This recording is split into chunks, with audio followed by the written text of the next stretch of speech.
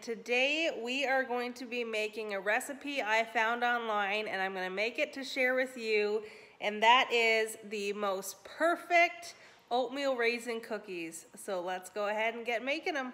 All right, so what we're going to do is we're gonna start with one bowl and in that bowl we're going to put in one cup of flour spooned and leveled. Lauren, get off the counter, honey. Sit on your bum um, half a teaspoon of baking soda, half a teaspoon of baking powder, half a teaspoon of sea salt, half a teaspoon of cinnamon. I'm not going to use cinnamon though. I'm going to try it with this. It's an allspice for pies. And then um, we're going to mix that together. So let's do that and then we'll move on to the next step.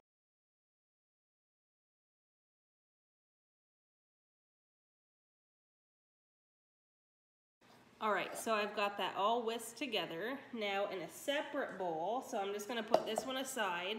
In a separate bowl, we're going to add in the um, melted coconut oil, sugar, a whole egg, egg yolk, vanilla, and we're gonna whisk it vigorously. So we're gonna need here half a cup of coconut oil or unsalted butter melted. I've got the coconut oil.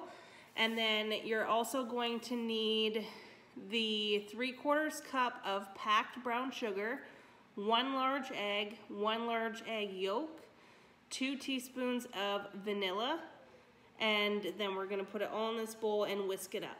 So let's go ahead and do that.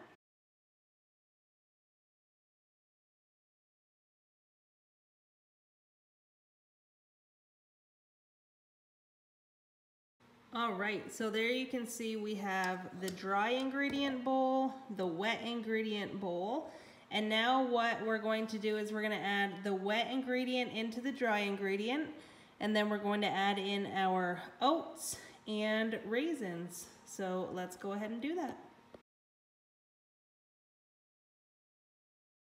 Okay, so that is it now that it is mixed together.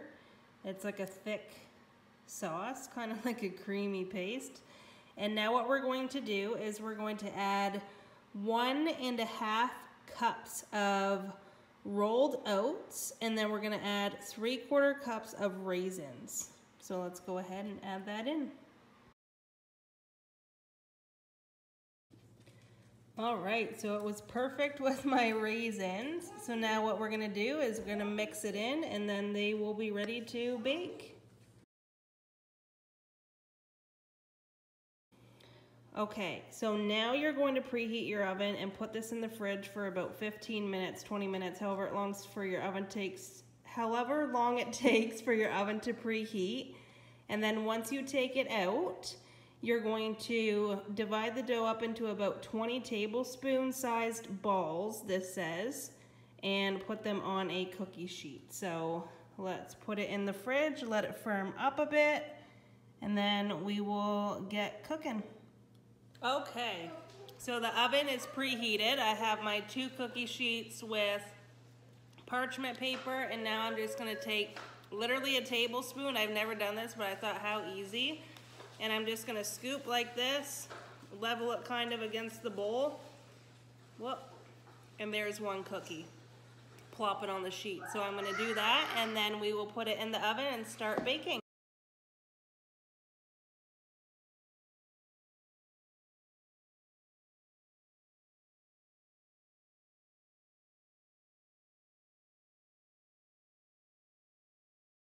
There we go. So I did them a little bit bigger than suggested, I think, because I obviously didn't get enough. I'm missing a couple. But they are ready to go. I'm going to put them in the oven and they bake on 350 for 10 to 11 minutes and then we will pull them out. Oh, show you. Throw them in. And I will set the timer for 10 minutes and then we'll give them a look. Okay, so they took about nine minutes, just nine minutes, and see the bottom started to turn a little bit brown. So I just took them out and now I'm gonna transfer them onto my cooling rack and we will see what they look like.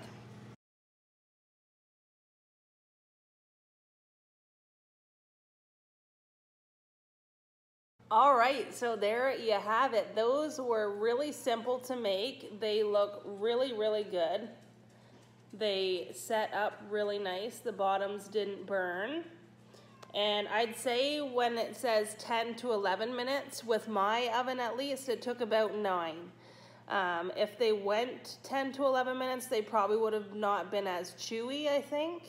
Uh, but they look really good. They smell really good.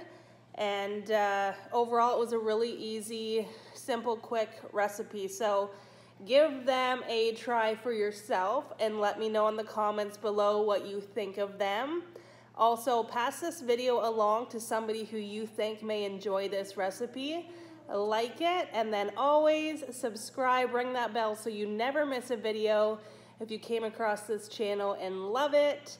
Um, and once again, I appreciate you from the bottom of my heart from for always following along and watching along and just seeing what I'm up to in my kitchen. So have the most amazing day and uh, talk to you soon.